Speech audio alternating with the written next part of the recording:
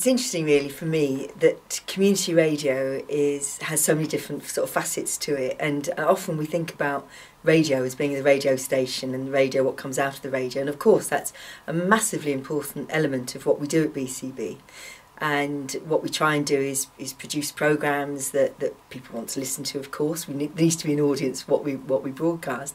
And hopefully because the programs are made by people who want to broadcast those programs by local people who come with program ideas that they are made by and for people who want to listen to them and want, want to make those programs so that's really important and we do strive for real excellence in everything we do and excellence in our own terms and I don't think it's excellence necessarily in everybody else's terms, but we want to feel proud of everything that we broadcast.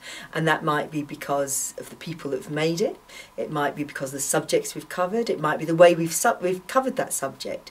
But we want to feel, say, proud of everything that we broadcast, and that's what we strive for. And, you know, we don't always arrive at that, but that's certainly what, what we try to do.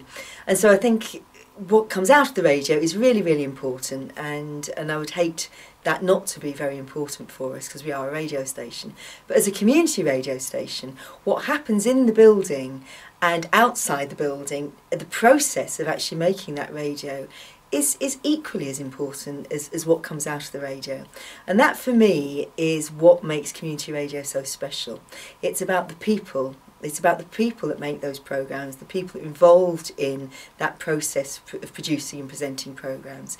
And it's the interaction between those people because here at BCB, as you know, Cormac, we're, we're here in the centre of the city, right next to the market. And it's a busy, busy environment. It's one where people come in, they come out, they hang out, they move, they go away, they come back again.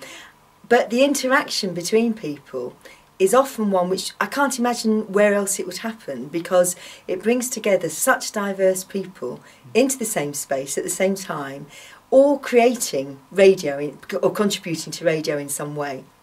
Either their own programme or they're part of a team that makes radio. And it's the, the interaction between those people, the, the meaningful relationships that, that develop through, through community radio, through their involvement with community radio. And that can be through generations, through different ethnic groups, people from different parts of the city, you know, come together here. And, and I say, I can't imagine where else that would happen. And I think that is one of the really, really important things about a community radio station. It's a, it's a community organisation and we create community through community radio and I think that's really important.